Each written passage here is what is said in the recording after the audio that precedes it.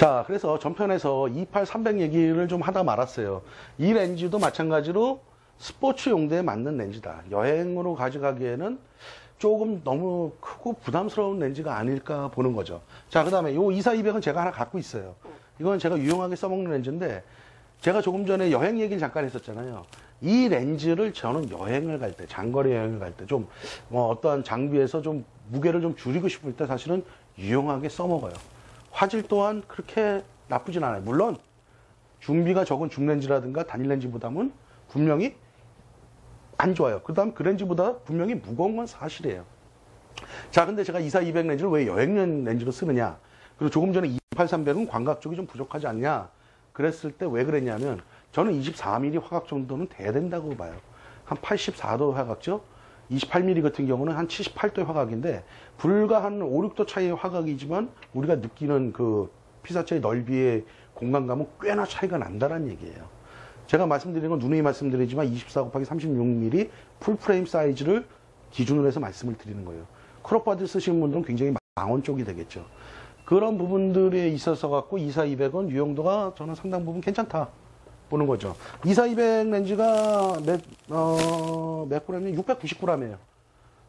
699g이면 무게도 어느 정도 괜찮아요. 그 다음에 이렇게 쭉 밀면은 길어지죠. 그다음에 접었을 때 콤팩트. 그 다음에 만든 매무새 자체도 꽤나 튼튼하게 만들었어요. 토키나 자체의 특성이 그대로 나오는 렌즈예요. 이런 렌즈 정도, 이런 렌즈들은 어떤 용도로 쓰느냐? 제가 볼 때는 여행용 렌즈로 쓰는 것이 마땅하다. 뭐 어떤 분들은 야, 24-200이면 이 하나 렌즈로 그럼 게임 오버, 끝나버릴 수도 있겠다라고 생각을 하죠. 저 또한 그렇게 생각을 하기도 해요, 머릿속에는. 근데 실질적으로 촬영을 하다 보면요, 그렇지 않아요. 밝은 렌즈가 필요할 때도 사실은 있거든요. 그랬을 때의 렌즈들이 아닐까 봅니다. 50에 500, 24, 200, 28, 300 대표적인 어, 고배율 줌렌즈예요. 배율이 높은 줌렌즈예요. 24, 200도 그렇고 28, 300도 그렇고 고배율 줌렌즈 이거 10배의 줌이고 그래서 정리를 해보면요. 50에 500, 28, 300은 스포츠 용도로 쓰는 줌렌즈로 활용하는 것이 맞다. 그 다음에 24, 200 정도는 스포츠도 좋지만은 스포츠로 쓰기에는 망원 쪽이 좀 짧은 듯한 느낌이 들어요. 최소한, 최소한 300mm 정도 좀 가져야 되지 않을까. 그런데 광각에서 조금 넓은 광각을 커버해 주니까 이거는 여행 렌즈로 송보가 개인적으로 보는 얘기예요. 여러분들 어떤 교과서에 나오는 얘기가 아니라 송보가 개인적으로 볼 때 여행용으로는 24, 200으로 좋고 50에 500, 28, 300 이런 중렌즈들은 스포츠 용도로 좋지 않을까. 저는 이렇게 이렇게 그 좀 감히 이렇게 좀 말씀을 드리고 그런 용도로 추천을 해드리고 싶은 거죠. 그 다음에 또 하나 이제 전반적인 이제 고별 중렌즈들에서 얘기를 해보면은 어, 저는 이제 어떤 면에서 이런 거예요. 밝기가 전체적으로 좀 어둡죠. 근데 이건 어쩔 수가 없어요. 콤팩트하게 만들기 위해서는 어두울 수가 없, 어두울 수밖에 없다는 얘기죠.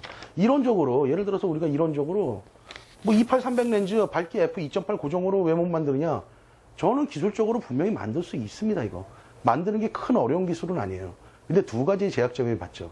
하나는 렌즈 구경이 얼마나 질까요? 굉장히 커진다는 얘기예요. 그 다음에 렌즈 구성 매수가 더, 더 들어가야 된다는 얘기예요. 그러면 렌즈가 무거워지죠. 그렇다면 효율성이나 중렌즈의 특성에서 이렇게 뭐라 그럴까 말이 안 되는 얘기가 되는 거예요. 중렌즈는 좀 뭐라 그럴까 이렇게 좀 여러 가지 렌즈를 다양하게 갖고 다니면서 쓸 수 있는 무게 한도 내에서 맞춰줘야 되는 거거든요. 설계자의 그런 고민들을 하거든요.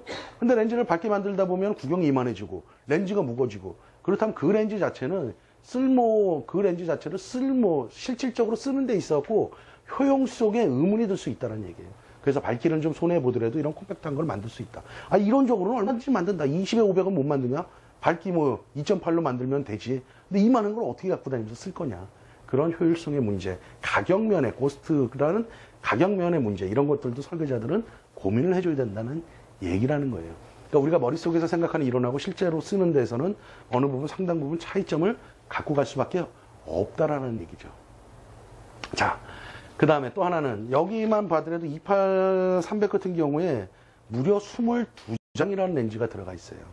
그렇다면 이 렌즈 자체로 봤을 때 성능이 어느 정도 쓸 수 있다고는 저는 인정을 해요. 24200도 마찬가지. 24200도 15매. 그 다음에 50에 500도 무려 20매라는 렌즈가 들어가 있어요. 보통 뭐 16군 20매, 16군 22매. 24200 같은 경우가 13군 15매인데 물론 이 안에 UD 렌즈라든가 비구면 렌즈들이 다량으로 들어가 있습니다. 하지만 엄밀하게 따져갖고 이게 준비 뭐 3570 두 배는 차지하고라도 2485라든가 3505라든가 이런 한 3.5배에서 4배의 줌 정도의 되는 거랑 막상 1대1로 비교했을 때 얘가 뛰어나느냐 UD 렌즈라든가 비구면 렌즈가 많이 들어가 있- 설사 있다 하더라도 이 렌즈가 뛰어나냐라고 말했을 때 저는 아니라고 말씀을 드리고 싶은 거예요. 이 렌즈는 그런 아까도 말씀드렸죠. 이런 스포츠라든가 긴 여행을 갈 때 쓸 때 유용한 렌즈이지 성능을 굳이 따진다면 사서 쓸만한 값어치는 크게 없다라고 저는 말씀을 드리고 싶은 거예요. 왜냐하면 렌즈가 많이 들어가면 아무리 코팅 기술의 발전, 설계 발전이 있더라도 빛의 감소, 빛의 반사 이런 부분들로 콘트라스트나 이런 부분들이 상당 부분 감소하거든요. 실질적으로 제가 써봤을 때도 그런 영향들이 조금은 미친다는 얘기예요. 이 렌즈 자체가 나쁘다라는 얘기가 아니라 준비가 작은 렌즈들 또는 고 광각이면 광각주, 망원이면 망각주 이런 줌 렌즈에 비해서 성능은 저는 나쁘다고는 말은 안 하지만 좋다고 말 못한다는 얘기예요. 그랬을 때 우리가 스포츠 사진이라든가 어떠한 긴 여행으로 하나의 렌즈를 갖고 컴팩트하게 하나 갖고 난 끝내고 싶다 그런 경우가 아니라면 굳이 추천을 이렇게 해주고 싶은 렌즈는 아니라는 얘기죠. 근데 그만이 그런 용도로 쓴다면 훌륭하게 분명히 쓸 수 있는 렌즈죠. 자, 제가 요 렌즈를 지금 세 편에 걸쳐서 고별 줌 렌즈를 말씀을 드리고 있는데요. 참 많이 발전했죠. 옛날에 3570 줌 렌즈 나왔을 때 또는 니콘에서 처음으로 4386 줌 렌즈가 나왔을 때만 해도 어우 대단하다. 저는 4386 줌 렌즈 시대는 아니죠. 써서는 봤어요. 중고 렌즈 사서 써는 봤는데 뭐 지금의 줌 렌즈보다 좋다고 말 못합니다. 옛날 준비기 때문에. 그렇지만 이제 3570이라든가 2885라든가 최근에 나와 있는 2405라든가 그런 줌 렌즈들 상당히 좋죠. 좋으면서도 어느 정도 성능이 안정돼 있죠. 그 다음에 50에 500. 그래서 그 렌즈들보다 좋다고 말씀드릴 수 없지만 쓰는데 큰 무리는 없다라는 얘기죠. 야, 이런 기술의 발전. 그 다음에 렌즈 밝기는 조금 어둡지만 그래서 좀 더 작고 좀 가볍게 만들 수 있죠. 가격을 다운시킬 수 있죠. 야, 이 렌즈들은요, 불과 20 몇 년 전만 해도 또 이렇게 상상하기 힘든 렌즈였어요. 이런 고별 줌 렌즈를 기술력이 좀 상당히 있는 회사는 어디 쪽이냐면 탐런 렌즈 쪽에서 이런 고별 줌 렌즈들은 상당 부분 많이 만들어내고 가격을 싸게들 많이 만들어내고 있죠.